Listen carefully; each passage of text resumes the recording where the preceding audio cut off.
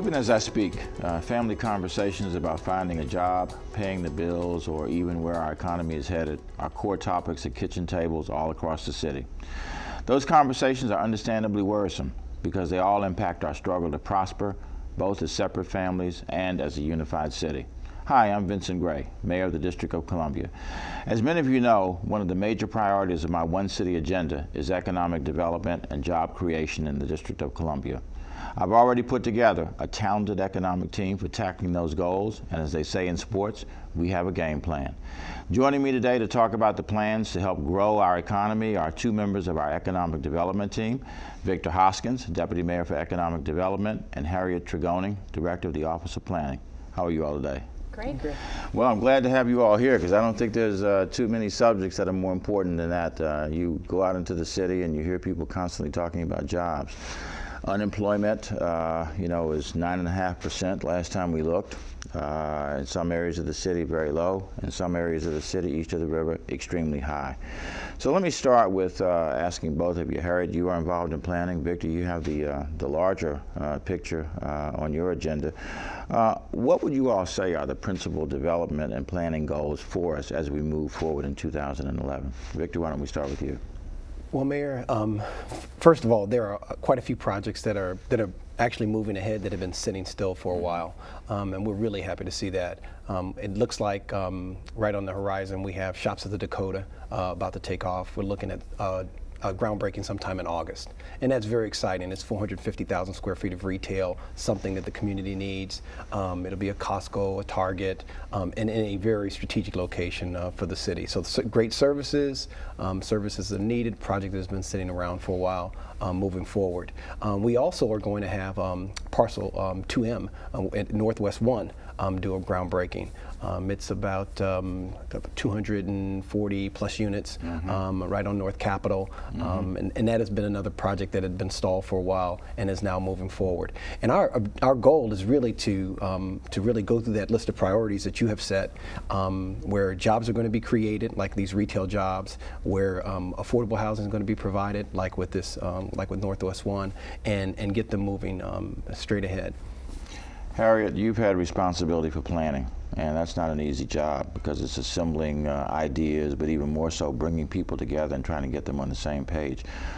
What, from your perspective, are the things that we ought to be pursuing uh, as we move through 2011 and then into 2012 from a job creation, economic development perspective?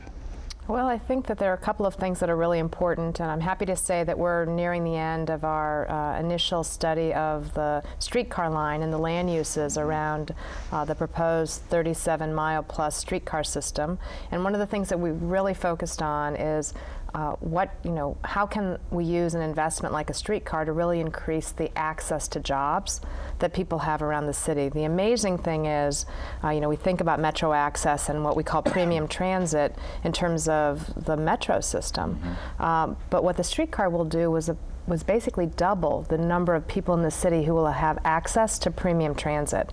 So you know, fixed guideway, you know, on rails mm-hmm. in their neighborhood. It really changes uh, where and how people can access uh, this great transit service and how many jobs they can reach in a much shorter period of time. So that's one big thing that we're working on. Are people accepting the streetcars?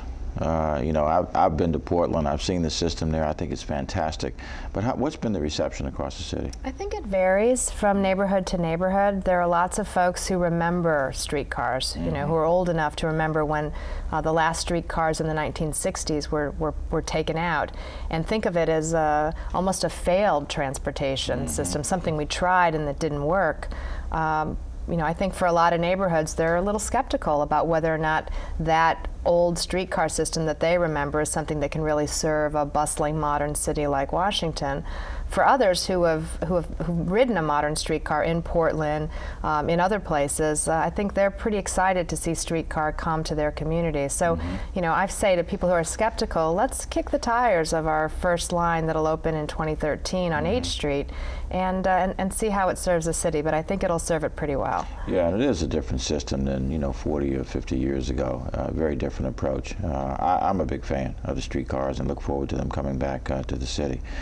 Listen, we were involved recently in a, in a Ward 8 summit, and uh, for me, my own opinion is it was a fantastic experience. Just hundreds of people who came out, a lot of energy and enthusiasm.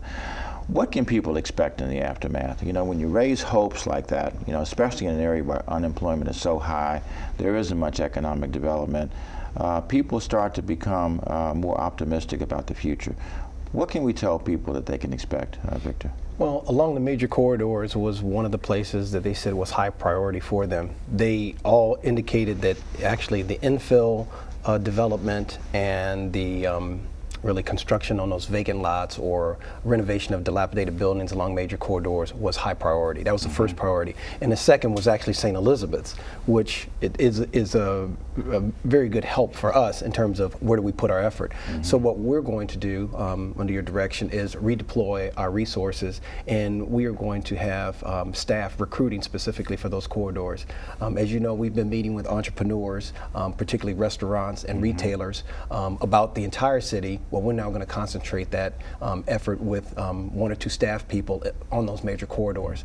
Because the only way that we're really going to get people there is by taking them there. Mm -hmm. um, as you know, yesterday we met with a, um, a, a, group that uh, expressed an interest, and now we have to get them out in the field and see four or five sites in those corridors, and then turn that into a transaction. It just, it's just they, what they're going to see is a lot of blocking and tackling. Mm -hmm. we've already we're going to start some work on demolishing some of the vacant buildings um, that we can and renovating renovating some of the facades that we can, um, that we have some control over.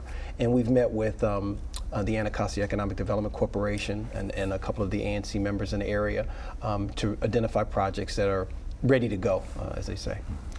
Um, Harriet, you are a planner, and that means you're always looking ahead um, people look at the District of Columbia as a government town, you know, as a town that is steeped in tourism and hospitality. As we look at the future, um, should we think, can we real, realistically think that there will be, you know, new types of jobs coming to the city? And if so, what what things should we be thinking about? Absolutely. We should look at this future and, and, see new kinds of jobs. I think that, you know, you've really put your finger on a identity issue for the district that we've really faced for a long time, that the, our identity as the seat of the federal government is so overwhelming that all these other wonderful things about the city sort of don't see any airtime. I call that sometimes that that government identity our Clark Kent identity, but we actually have all these superhero identities that are really mm amazing. I mean, we're the international city. You know, we have 170 missions and foreign embassies here in the city. We have the World Bank, we have the IMF. You know, we'd be the international city if people didn't know, uh, you know, about our Clark Kent identity. We're the we're the education city. We have all these colleges and universities here. We'd be a college town, you know, much as Boston is known as a college town. If we, if, if you know, if people knew more about it, we're the creative city. You know, we have so many performing arts mm -hmm. organizations, cultural organizations, you know, more than 70 museums, you know, amazing amounts of culture. And that's where a lot of the job growth is coming, mm -hmm. you know, in that creative, cultural um, arena, we are the number one destination for college graduates. Mm -hmm. You know, and, and folks are coming here, you know, with all kinds of uh, ideas about the kinds of businesses they'd like to start, the kind of enterprises they'd like to be involved in. I mean, one of the exciting things is that for every city, uh, who knows what the economy is going to be in 20 years? But with all these bright young people in Washington, I feel like whatever it's going to be, it'll be invented right here. So both of you are optimistic that we'll be able to broaden our horizons uh, from some of the uh, the the ways in which the city has operated in the past. Oh, Absolutely. yes, yes. Well, listen, I want to thank both of you for coming. Uh, you are invested with an enormous responsibility, and I'm absolutely confident that both of you are up to the task, and I love working with you every day. Thank you. It's a privilege. A thank you. Thank you, Mayor. All right, as we work to help grow uh, the economy and grow jobs in the district, an important question is what's our game plan uh, for matching good jobs with a competitive workforce? Coming up, our Learn to Earn strategy uh, involving job training in D.C. Inside One City. We'll be back in just a minute. My question is how will the city guarantee that new business development is fairly distributed to all wards of the city?